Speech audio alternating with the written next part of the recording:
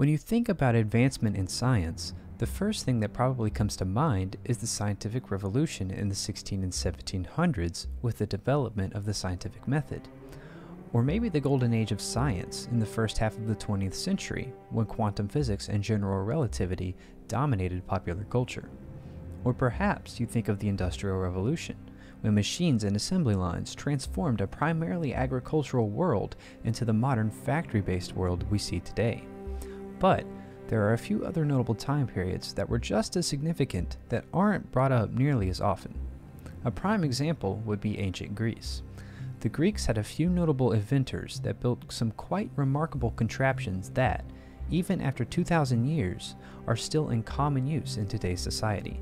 Here are some of those inventions that we still see around today that have origins in ancient Greece. The time period around 515 BC in ancient Greece came with a modification of the crane for construction purposes. Although the crane had already been invented supposedly in ancient Mesopotamia with the purpose of lifting water, the Greeks gave this tool a much more significant purpose. One modification the Greeks made was adding a winch, which is a device used to adjust the tension of a rope. This, along with the addition of a pulley hoist, allowed men and donkeys to lift objects up to 150 kilograms or 330 pounds. Cranes of this nature would continue to be used for centuries until the dawn of the hydraulic powered crane by William Armstrong in 1850, which is the kind of crane we know and use today. Just like cranes, water based clocks had already been invented prior to ancient Greek civilization, dating back to as early as the 16th century BC in Egypt. This kind of clock consisted essentially of a bowl and a nozzle.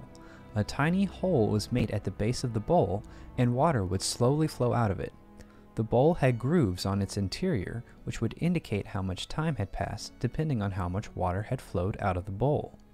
Before ancient Greece, however, clocks were not that commonplace.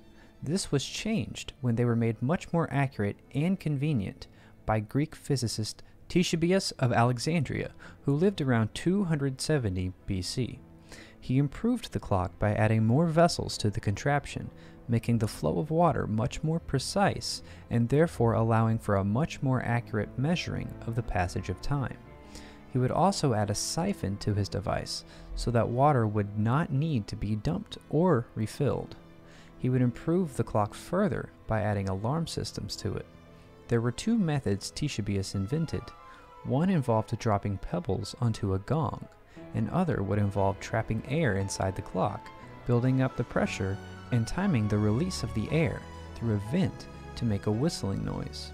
The improved water clock by Ctesibius was so precise that a more accurate clock would not be invented for another 2,000 years when the pendulum clock would be invented in 1656. Another ancient Greek invention still used today is the automatic door.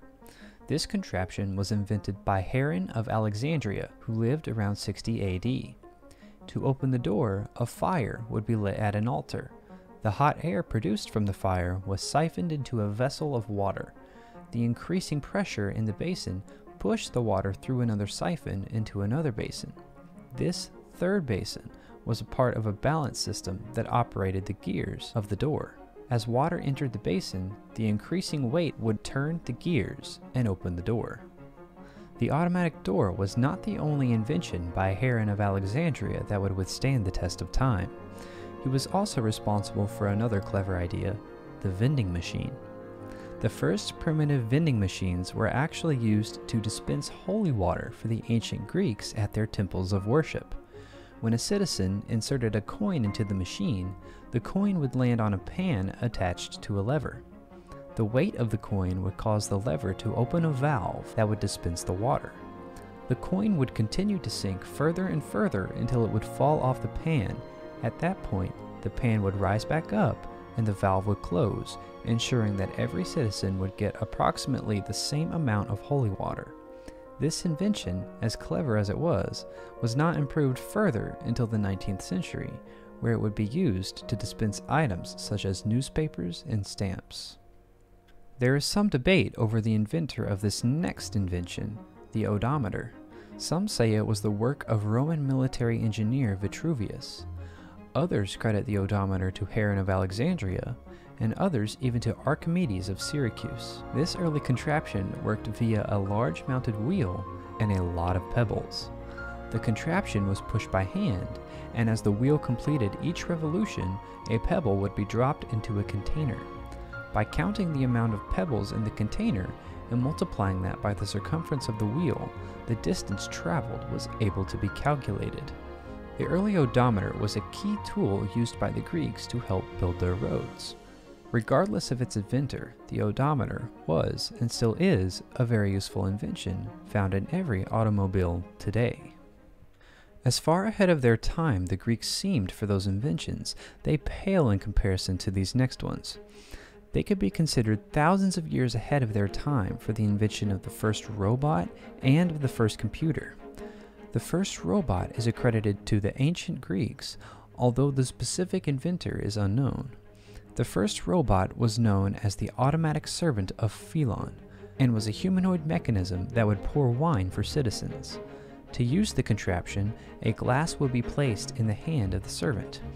The weight of the glass would open a valve inside the servant, and wine would pour from the opposite hand, which was holding a jug for aesthetic purposes. As the cup sank further down, the wine valve was cut off and another was opened, this one allowing water to flow. This would let wine drinkers choose how dilute they wanted their wine, and when they were satisfied, they would remove their glass from the servant's hand.